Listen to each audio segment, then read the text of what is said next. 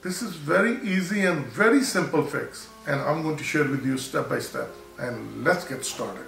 At this moment I have i7 iMac 27 inch. It can be any of your computer. First step will be that we're going to open our hard disk and supposedly it's not there then you go on a finder click on preferences and the hard disk if it's unchecked as you see there is no more hard disk. So you need to check that. Once the hard disk shows up on a desktop we're going to open it. We're going to open the library. We can make this one bigger so it will be much easier. You can see it. We go to the folder preferences. So once we open this you will see all the files in there. Then you go on the second column see all the details, the files. You need to find the file with Bluetooth, which is right here. And that is the Bluetooth plist file. Right click on it and move to trash. It will ask you a password. So you enter your password and then you hit enter. As soon as you hit enter, the file has been moved to trash as you can see the file is right there. We can empty it out. I just wanted to show it to you so I deleted the file is emptied it out. Now we don't have a Bluetooth file available on our computer. And now you need to go shut down your computer and you say shut down.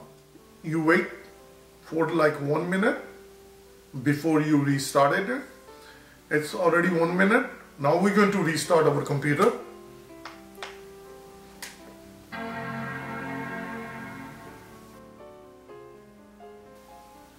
Once computer starts, we're going to enter our password credentials.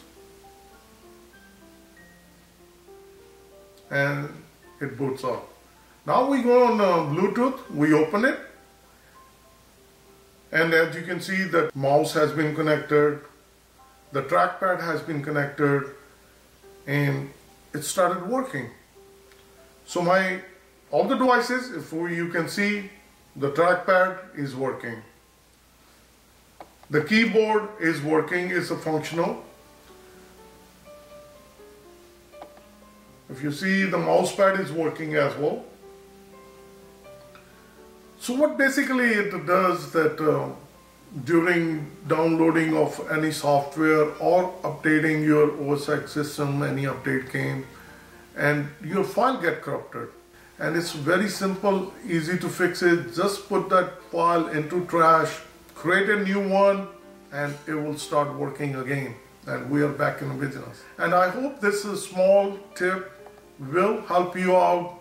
If you're having a problem with the Bluetooth devices, you put your keyboard, mouse pad or trackpad, you put it away. It's a time to take it out, bring it on and start using them. If you like this video, please give thumbs up to this video and please like and share and subscribe Easy Steps. Thank you and have a good day. Bye-bye.